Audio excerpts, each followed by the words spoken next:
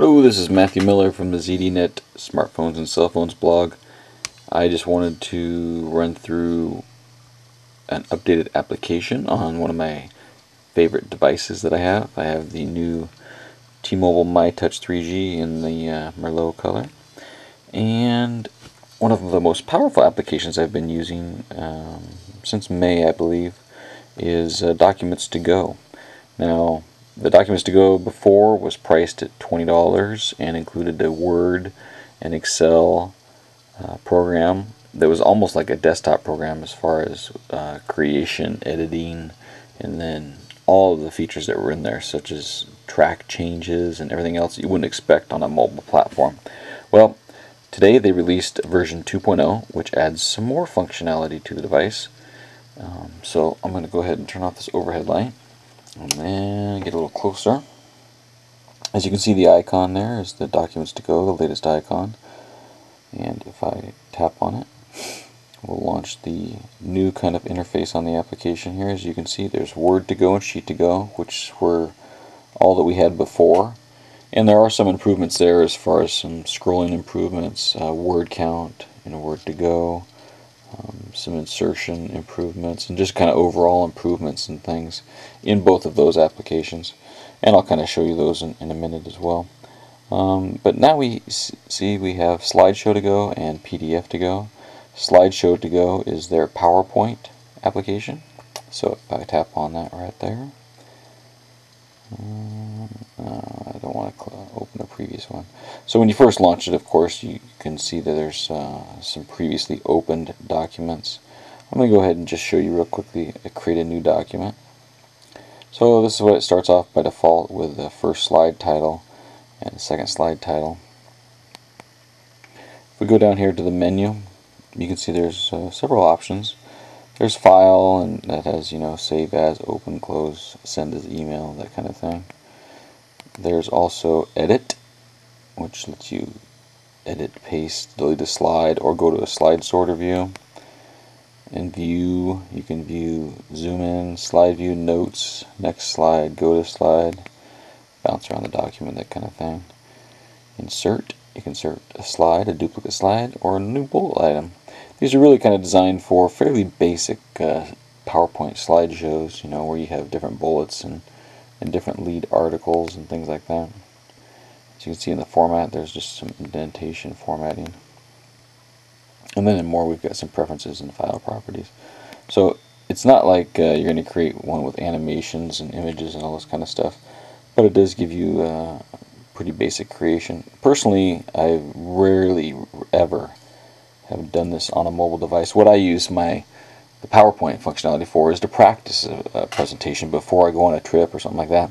And it's also nice to have in case you find something on a uh, on a particular presentation and you need to uh, do some editing at the last minute. So here's just a view of the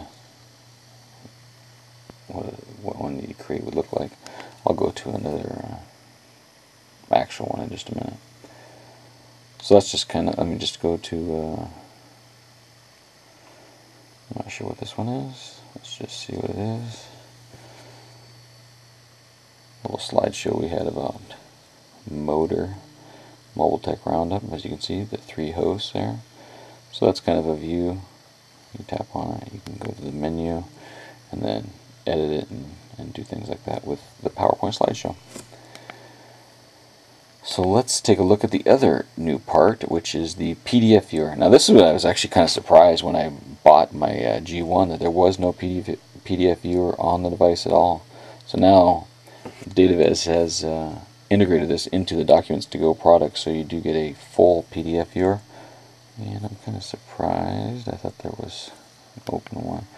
So let me just show you the other part.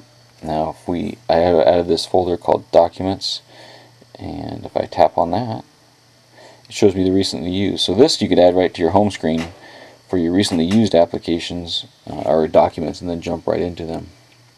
And I thought I had a, power, had a, a PDF on there. I must not have saved that. So let me uh, go into Gmail and get a PDF and I'll be right back. So PDFs are very popular from what I receive in emails and things like that. So this is what a PDF looks like. You can pop it over into uh, landscape mode as well. And back to portrait. So if you just tap on it, you'll see you can uh, you can easily zoom in to the content there.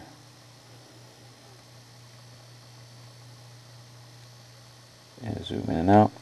Now if you go to the menu, you can see there's a file for saving again, sending via email, that kind of thing. There's also edit, so you can actually select text or search for text. I do select, use the trackball if you want, or you can use your finger and then you push it and it copies it to the clipboard so then you can paste it in somewhere else if you wanted to, which is really slick. For view, you can uh, wrap word wrap, which is nice if you're if you're looking at a, a, document that you just want to look at the text and don't care about the formatting. Word wrap is really cool because you can see how fast it is, and you can just get through the content without having to worry about all the formatting and tables and everything else that's going on. Word wrap or page view, and you can see it switches pretty fast between those transitions. There's also some bookmarks and zooming. And when you go to more, there's file properties and check for updates. So it's a pretty basic viewer, but uh, as you can see, it's pretty fluid, and uh, I really like the word wrap functionality for getting through the content. So let's see, that's about it for the new documents to go for the Android platform. And um, yeah, there's, there's a few updates that I put in my blog post for the Word and the Sheet and uh, just a great product. Now, uh, if you previously purchased it, it's a free update. If you didn't, you have to pay the full 30. And another part is uh, the Word and Sheet to Go viewers are free for Android users. So if you don't have a viewer for Word and Excel files, you can at least download this for free.